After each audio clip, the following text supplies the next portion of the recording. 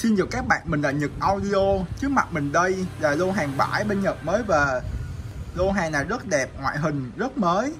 Trải dài khắp mọi phân khúc luôn nha các bạn.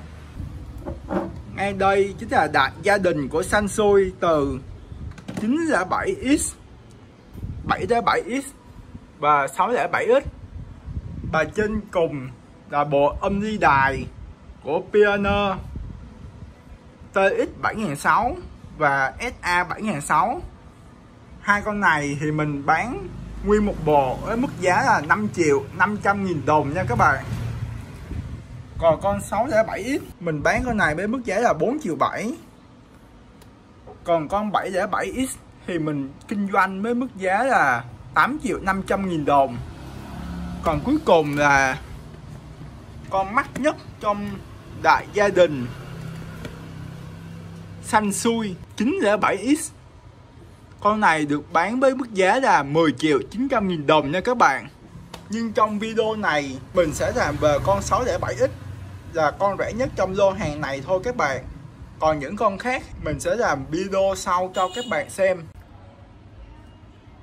Đây là con xanh xui 607X nha các bạn. Rất nhiều khách đã đặt mua mình. Đến tận hôm nay thì mình mới bờ hàng thêm được hai con mới tinh, Có cả Catolo theo máy luôn nha các bạn. Đây. AU 607X Đây các bạn xem ngoại hình của nó. Má gỗ zin theo máy luôn nha các bạn. Ui ốp gỗ này sáng bóng kinh thật. Phản chiếu cái hình mình ở phía trong luôn. Đây là Tem của sản phẩm AUD 607X điện 100V công suất 230W đây là số series của sản phẩm luôn nha các bạn con này chạy điện 100V công suất là 230W và đặc biệt chạy 8 còng mốt phát lớn.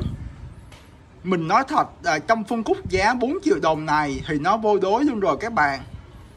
Con này được sản xuất vào những năm 1984 và bây giờ mà các bạn muốn mua con này mới như thế này đây, là điều gần như không thể luôn.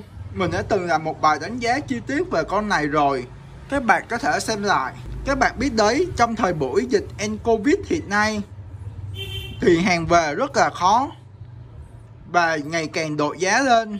Nếu các bạn không mua bây giờ, thì trong tương lai giá có thể tăng lên đến 5 triệu. Hiện nay Nhật Audio đang kinh doanh sản phẩm này với mức giá là 4 triệu 7 và free ship luôn cho các bạn. Các bạn chỉ việc nhấc máy lên và gọi vào số điện thoại hoặc Zalo 0796 123450 mình có để ngay trên màn hình. Mình sẽ ship tận giường luôn cho các bạn.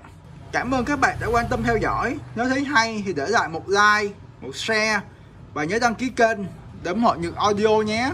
Xin chào và hẹn gặp lại các bạn vào những lần sau.